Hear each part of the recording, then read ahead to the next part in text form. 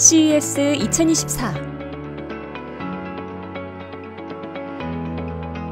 올해 1월 9일부터 12일까지 미국 라스베이거스에서 CES 2024가 개최되었습니다.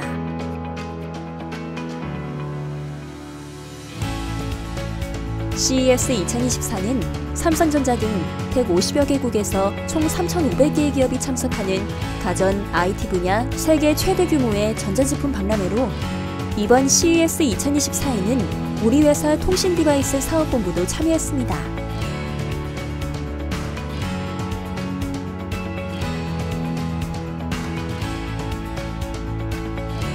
CES 2024는 All Together, All On이라는 주제로 모든 산업군이 하나로 모여 기술이라는 혁신으로 전 세계의 산적한 과제를 해결해야 한다는 메시지를 담았습니다.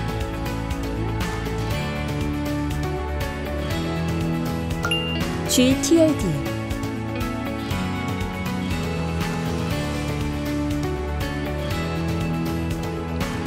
당사는 이번 박람회에서 전시 부스를 설치하여 GTLD를 소개했습니다.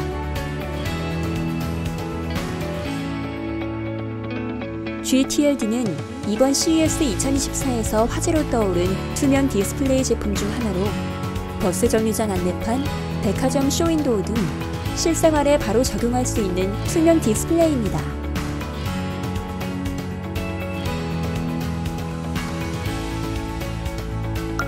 우리 회사의 GTLD는 독자적인 유리기판 patterning 기술을 활용해 다른 제작 방식에 비해 내구성이 높고 20% 이상 높은 투과율과 선명함을 자랑합니다.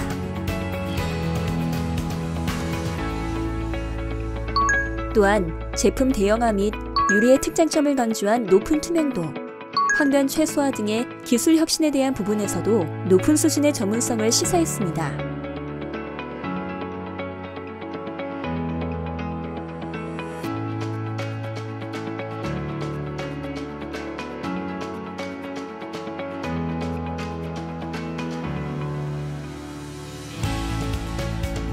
기존 LED 디스플레이 시장에서 차별화된 제품 구현을 통한 새로운 고객의 요구를 만족시키기 위한 다양한 라인업도 구성해 많은 참가자들과 산업 전문가들의 주목을 받았습니다.